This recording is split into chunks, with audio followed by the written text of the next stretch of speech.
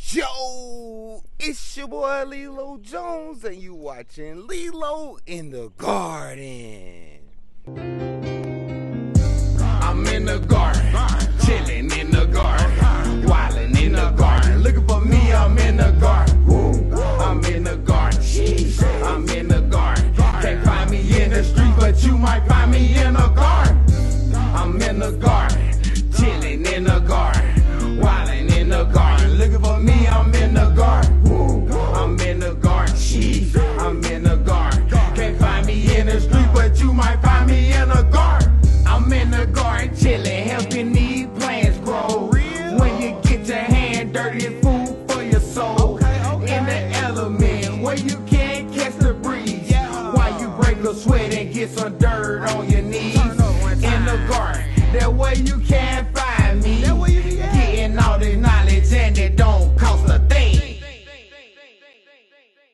Yeah, man, we back in Shadyville with it today. You did what I'm saying? And we ain't playing no games. It's early in the morning. Well, not too early, about 8.45, 8.50, something like that. But we about to go ahead and make it do what it does in the orchard patch. You did what I'm saying? I told y'all that we're going to put those uh, fruit trees over here. And yes, we are about to. As y'all can see, I done cleaned it out. You know what I'm saying?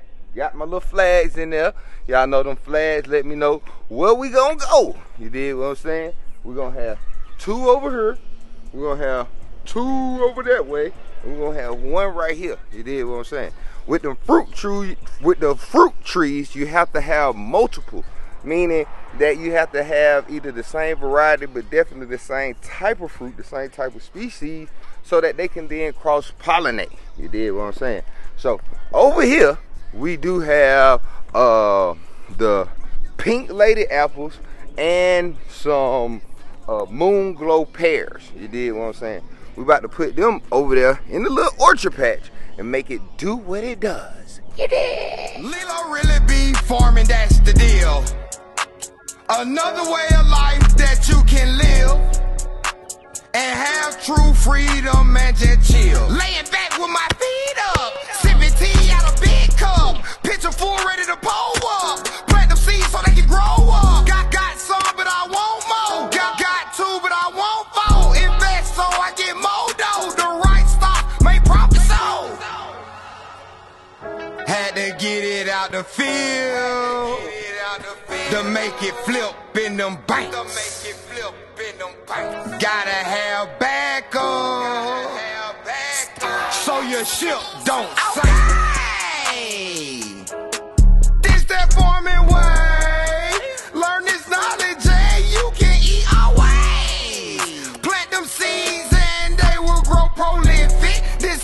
For some money and invest in something different. Okay, it's that farming way. Learn this knowledge and you can eat always. Plant them seeds and they will grow prolific. Then sell them for some money and invest in something different. Run it up, chase it, you gotta go get it. Increasing them profits by adding them digits. Relentless. You can have what you want, everybody will witness. Stand firm, anchored in the soul. My flame hot to make water boil. Shining brighter than tinfoil. Game too fresh, it'll never spoil. All, all joys, I have no toils. Massive gas, cause I change all. Money growing and overflowing. But Now, before we put these fruit trees in the ground, smash down on that subscribe button and tell a friend to tell a friend to smash down on that subscribe button too.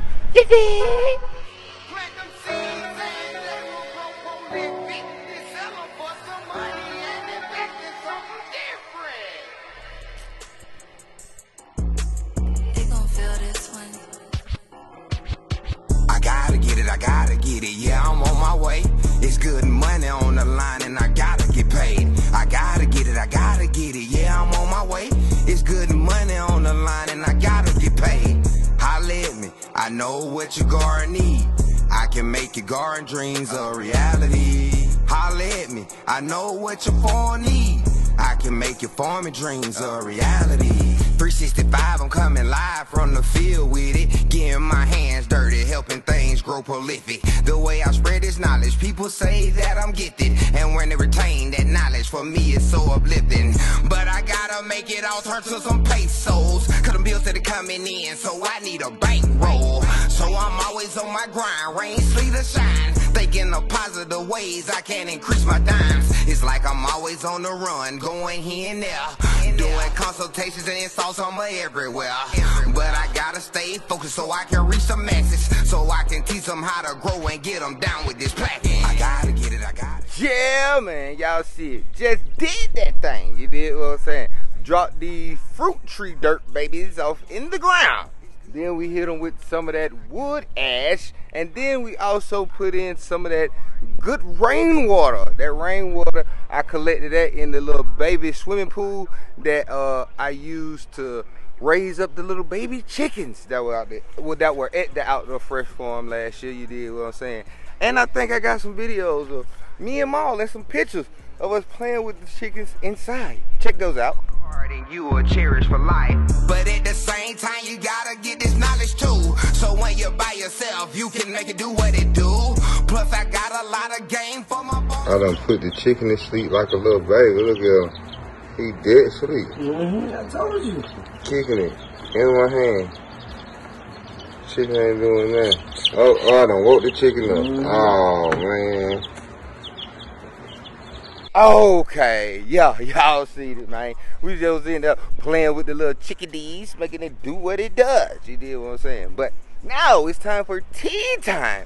So I can really break it down to you and let you know what it be about. You did what I'm saying? So let's go ahead and hop into that and we can make it do what it does in this explanation thing. On these, I can make your farming dreams a reality. About the bag. Getting, we growing and getting, we growing and getting it. We growing and getting, we growing and getting, we growing and getting it. We growing with knowledge to get to that money. It's tea time.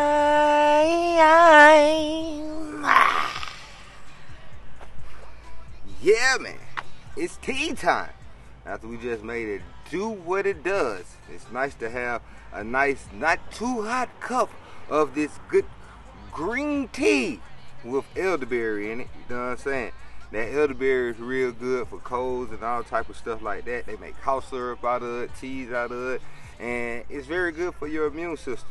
So yeah, we rocking with that elderberry today. You dig what I'm saying?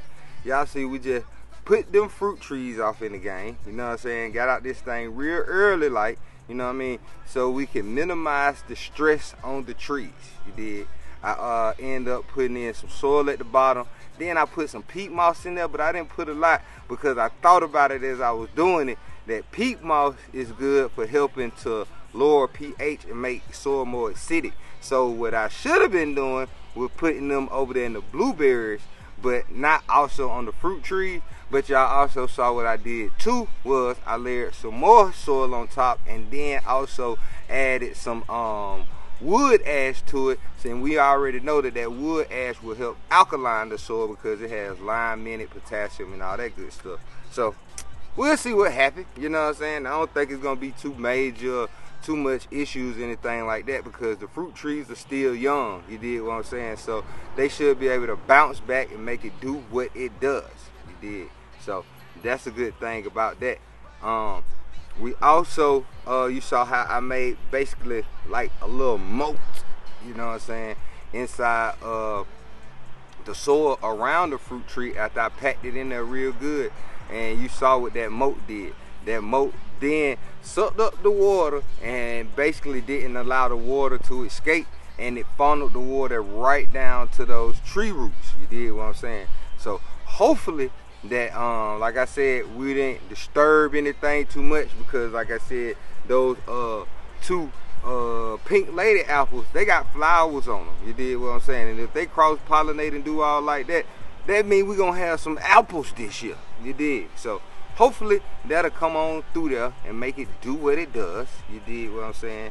Um you saw how that uh what what is that that uh oak tree that red oak how its roots really was just running. You did what I'm saying? um, if you look at a tree, the tree has what's called a drip line.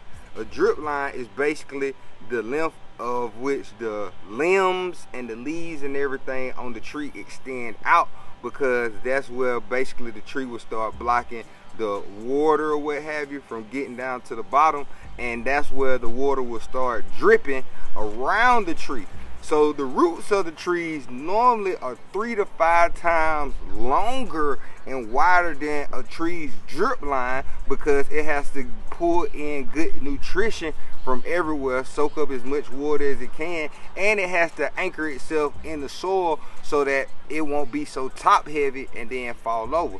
But see, being that we're in the city and us humans have then created a lot of concrete areas uh, sewers, uh, driveways, roads, pathways, all those things, those hinder the tree roots from growing. So that basically is what happened to that big oak tree that I had right there in the front, and it killed it. So most of the tree was dying or dead already. So in order to save the house and all that type of stuff, we had to take it down. But I do have the wood and all this wood bark that's on the ground and all this good uh, wood and sawdust that you see, that came from that big tree.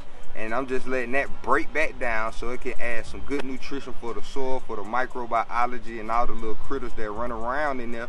So then they can have a healthier place and a safer place to proliferate. You did what I'm saying? And evolve and do their thing. So even though I had to get rid of one tree, we planted five trees and we got more uh, blueberry bushes to go too. So yeah, man, you gotta balance that thing out. You know what I'm saying? It's a give and take situation, and we already basically unbalanced with this nature thing anyway. So I'm just trying to do my part to help balance it back out. Teach the knowledge to you so you can then make it do what it do wherever you at and grow your own food, be sustainable, and be one with nature. You did what I'm saying? So yeah, man, that's what we just did today. Now let me go ahead and run it down to you. Make sure you go check out that Amazon shop. You did what I'm saying? Y'all know we got all that good drip on there from the canisters and the survival tools to the gadgets and gadgets like the watches and the stuff on the cameras all the way down to some jewelry, the clothes, the pants, you know what I'm saying? You can get it right there and get it delivered straight to your door for sure. You did what I'm saying? No playing no games. Go ahead and check out that Amazon thing. You did what I'm saying? Then go ahead and make sure you beam up that streaming, you know what I'm saying, for them dope tracks that you hear in the background, you know what I'm saying. Go ahead and beam that up and make it do what it does. You did what I'm saying?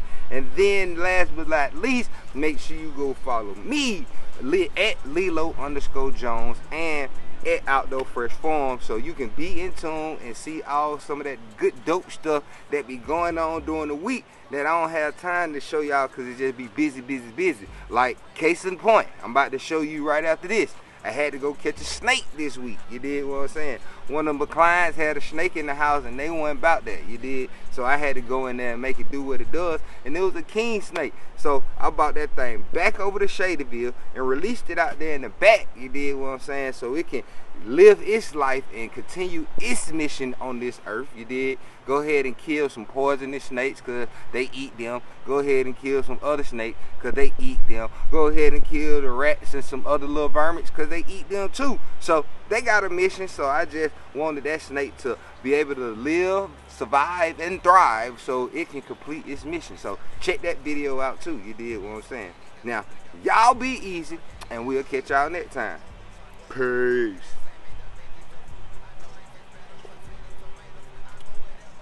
Yeah. yeah. That's it right there. I think I like that. I like that elderberry. Yes, sir. I grow wherever the produce I grow. I know it tastes better. All that I need is a hoe and a shovel. I drop it in time, it come up on schedule. No need to panic. Yeah. When you grow your food organic. Yeah. Cause after you grow your own. Yeah. You'll feel the satisfaction. Yeah. Of produce piling faster. Yeah. Then you can empty out your basket. Yeah. Now keep growing. Yeah.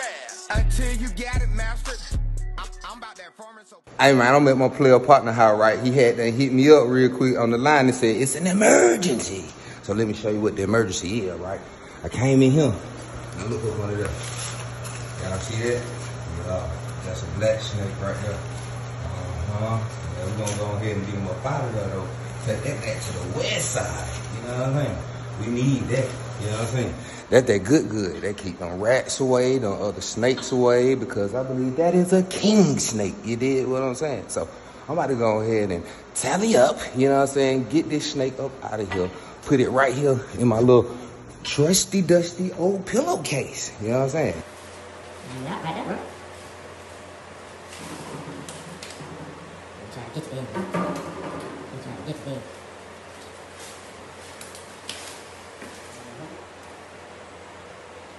That boy wrapped up, man. What that is? It's just a king snake. What's that look? Ain't nothing about that. It, it, it look, it look. He look like a six footer. it about a three foot. It about Yeah. a three foot. So Yeah. yeah, we're gonna wrap that guy up, take him on back to the west side, let him loose, you know what I'm saying? So he can do what he do and keep them rodents away from the garden. Yeah, man, we done made it back to the west side, the Shadyville, and y'all see what it is. You know what I'm saying? Got that snake off in here. You did what I'm saying. And like I told you, we're gonna go ahead and release this thing because, like I said, these king snakes eat poisonous snakes, other snakes, and rodents. So he got a mission to fulfill, and we're gonna help him. You know what I'm saying? We just relocate him to another situation, but we're gonna give this snake right here the chance to make it do what it does. You did.